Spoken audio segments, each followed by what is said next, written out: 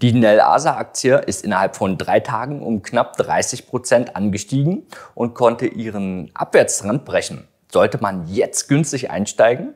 Was geschieht aktuell in der Welt des Wasserstoffs? Woher kommt die plötzliche Trendwende? Welche Rolle spielt die Atomkraft bei dem Ganzen? Und ist die Trendumkehr möglicherweise nachhaltiger Natur? Wenn du wissen möchtest, was Joe Biden, Warren Buffett und Bill Gates damit zu tun haben und ob sich eine Investition in Nel Asa lohnt oder man jetzt lieber verkaufen sollte, dann sieh dir das Video an bis zum Ende.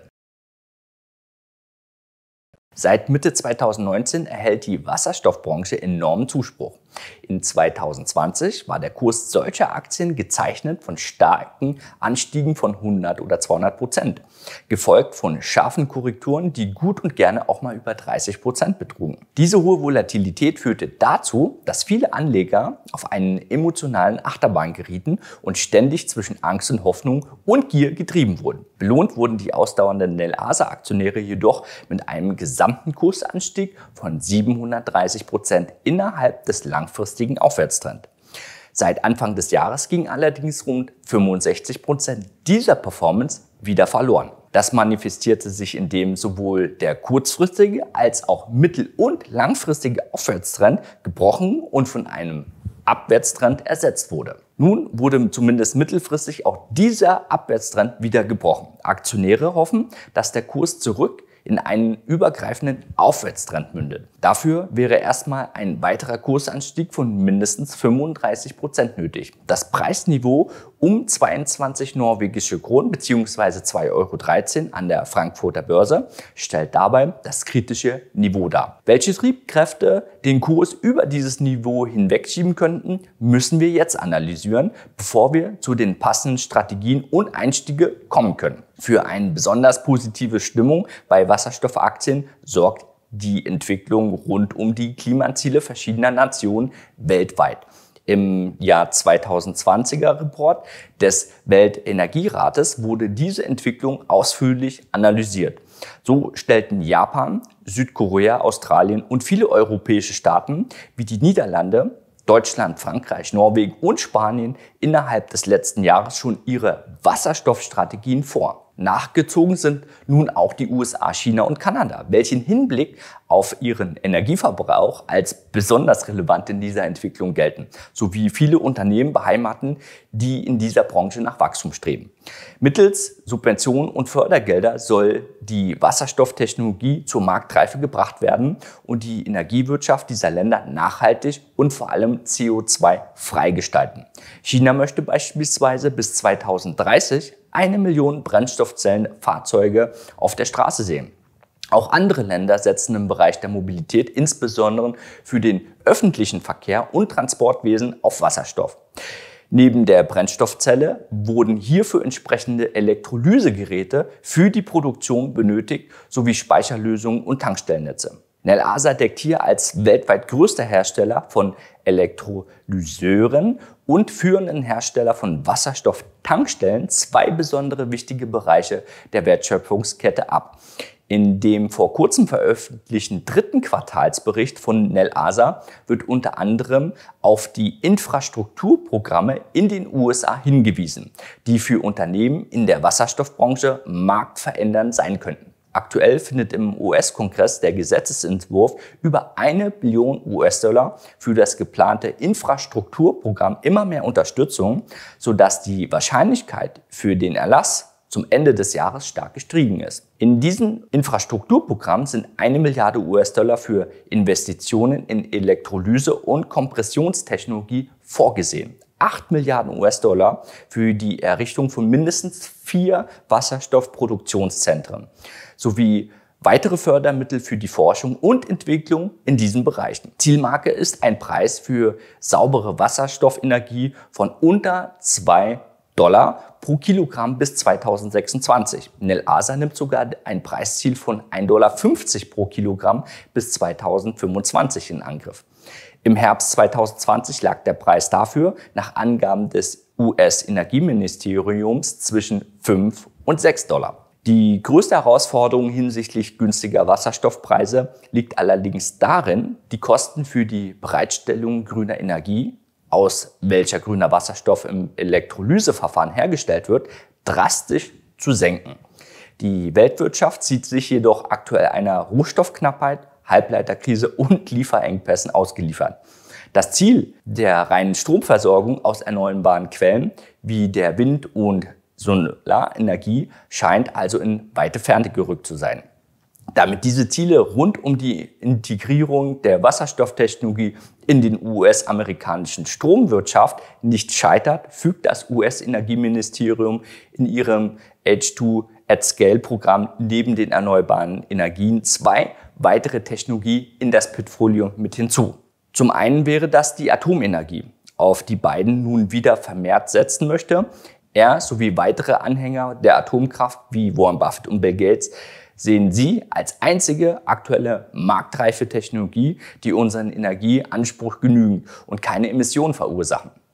Das Start-up von Bill Gates, TerraPower und Warren Buffetts Energieunternehmen Pacific Corporation haben sich zusammengetan und bauen in den USA sogenannte Mini-Atomkraftwerke, die weniger Atommüll produzieren sowie effizienter sein sollen. Gefördert wird diese Unternehmung der beiden Multimilliardäre von der US-amerikanischen Regierung. Am Kapitalmarkt hat sich die Entwicklung rund um die Renaissance der Atomenergie bereits bemerkbar gemacht. So konnte sich der Preis für Uran seit Ende 2019 mehr als verdoppeln und stieg innerhalb eines Monats sogar um über 50 Prozent auf ein neues Allzeithoch.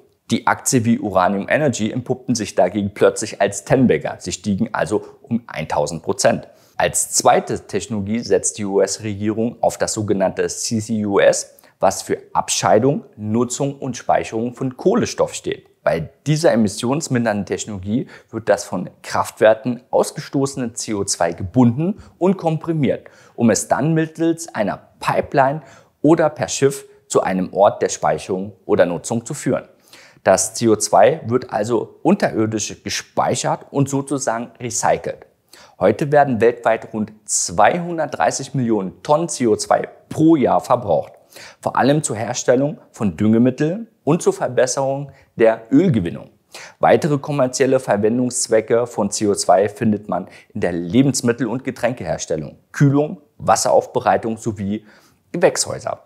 Zu den neuen Wegen der CO2-Nutzung gehören nun aber auch Kraftstoffe. Der komprimierte Kohlenstoff wird dadurch zur Herstellung synthetischer Kraftstoffe verwendet. Bei diesem Power-to-Liquid-Verfahren muss allerdings zunächst Wasserstoff erzeugt werden, damit dieser in Anschluss mit CO2 zusammengeführt werden kann.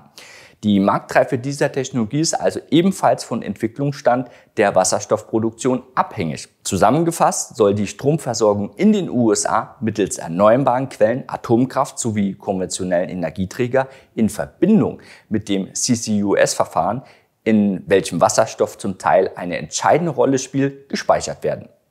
Als Speicherlösung tritt dann aber die Wasserstofftechnologie immer mehr in den Vordergrund. Schließlich sind die konventionellen Speicherlösungen stark von den Rohstoffvorkommen und seinen Preisen abhängig. Die Gewinnung und Nutzung von Lithium beispielsweise geriet in den letzten Jahren schwer in Verruf.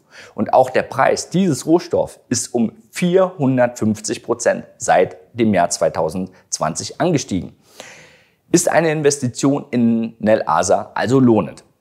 Die Ergebnisse aus dem dritten Quartal wurden an der Börse sehr positiv aufgenommen, wie es durch den 30-prozentigen Anstieg gleich zu erkennen ist. Der vorgestellte Auftragsbestand konnte schließlich über die letzten Quartale ein höheres Niveau zum Vorjahr halten und enthält Bestellungen für Elektrolysegeräte für die Speicherung von Atomkraft in den USA. Auch wurden zahlreiche Wasserstofftankstellen für Taxis und Schwertransporter von Unternehmen wie Everfuel und H2 Energy in Auftrag gegeben. Aktuell begleitet Nelasa über verschiedene Aufträge und Partnerschaften rund 800 Projekte mit einem Gegenwert von über 6 Milliarden US-Dollar. Hinsichtlich der Finanzzahlen gibt das Unternehmen auch ein recht gutes Bild ab. Der operative Umsatz konnte im Vergleich zum dritten Quartal des Vorjahres von 15 Millionen auf 23 Millionen Euro um 55 Prozent gesteigert werden. Dadurch wurden die Umsatzprognosen für das gesamte Geschäftsjahr 2021 auf 80 Millionen Euro angepasst. Aus unseren letzten Analysen von Nel Asa im Jahr 2020 wissen wir aber, dass die Umsatzprognosen für 2021 bei ursprünglich 101 Millionen lagen. Dieses Ziel liegt heute also 21 Prozent tiefer, was die Korrektur von über 50 Prozent erklärt. Das Umsatzwachstum soll dennoch in den darauffolgenden Jahren weiter anziehen und bis zu 67 Prozent im Jahr 2023 betragen. Punkten kann das Unternehmen zudem mit einer hohen Einkapitalquote von 88 Prozent, was für Stabilität in Krisenzeiten sorgt. In Hinblick auf den Gewinn und entsprechende Margen scheint es noch Verbesserungspotenzial zu geben. So konnte der Nettoverlust für das dritte Quartal zwar um 19 Prozent gemindert werden, allerdings scheint das Unternehmen bis 2023 mit der Ausnahme von 2020 nicht aus den roten Zahlen zu kommen. Grund für den prognostizierten Nettoverlust in Höhe von minus 142 Millionen Euro im Jahr 2021 liegt laut Nell an den hohen Investitionen, die in diesem Jahr getätigt wurden. Diese sollen auch in Zukunft noch getätigt werden, um die Marktdominanz und die Technologieführerschaft auszubauen. Bewertet wird die Aktie mit einem Kursumsatzverhältnis von 32. Das Unternehmen müsste seinen Umsatz über die nächsten Jahre hinweg also ver 32-fachen, um dieser Bewertung gerecht zu werden. Bei einer solchen hohen Bewertung reagiert der Aktienkurs extrem sensibel. Weitere Quartalsergebnisse und sonstige News rund um die Geschäftsentwicklung sorgen dafür, dass der Wert seine hohe Volatilität beibehält. Ebenso wichtig ist die konjunkturelle Entwicklung der Absatzländer und die gängigen Faktoren, die den Aktienmarkt beeinflussen.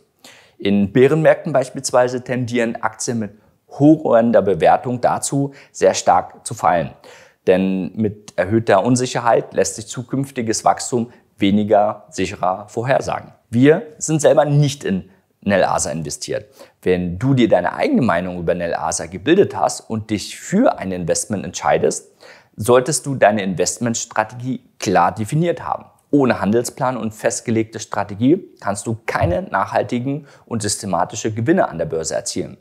Als Entscheidungshilfe schauen wir uns den Chart nochmal kurz an. Der Kurs konnte durch seinen sprunghaften Anstieg über zwei vergangene Hochpunkte steigen. Ein sauberer Aufwärtstrend wurde allerdings noch nicht bestätigt. Ein Einstieg an dieser Stelle würde hinsichtlich einer intelligenten Stoppsetzung ein Risiko von 20 bis 25 Prozent bedeuten. Mit einem mittelfristigen Kursziel bei 32 Kronen würde das ein Chancen-Risiko-Verhältnis von etwa 4 entsprechen. In Hinblick auf solche Kursziele sollten die bereits sehr hohen Bewertungen unbedingt beachtet werden, in welcher bereits viel Zukunftspotenzial eingepreist ist. Das bedeutet auch, dass man eher bullish gegenüber der zukünftigen Entwicklung des Aktienmarktes eingestellt sein sollte, wenn man sogar über eine langfristige Buy-and-Hold-Position nachdenkt. Langfristig orientierte Investoren können stattdessen eine Optionsstrategie in Betracht ziehen, bei welcher der durchschnittliche Kaufpreis reduziert und nebenbei ein passives Einkommen über Optionsprämien generiert wird. Auf das eingesetzte Kapital sind dann Renditen von weit über 100 Prozent möglich. Mehr Informationen zum Finden der richtigen Ein- und Ausstiege findest du in unserem kostenlosen Webinar. Verlinkt haben wir diesen unter diesem Video. Wenn du noch mehr über unsere Strategie erfahren möchtest, die unsere Kunden im Schnitt Renditen über 20 Prozent pro Jahr ermöglichen, dann melde dich für ein kostenloses Strategiegespräch mit einem unserer Börsenhändler an. Wir ermitteln dann, welche Strategie zu dir am besten passt, sodass du bei möglichst geringem Risiko dein finanzielles Ziel erreichen kannst. Und wenn dir das Video gefallen hat, dann unterstütze uns bitte mit einem Like. Ich wünsche dir hohe Renditen und vor allem viel Spaß. Ciao, Adrian von Finment.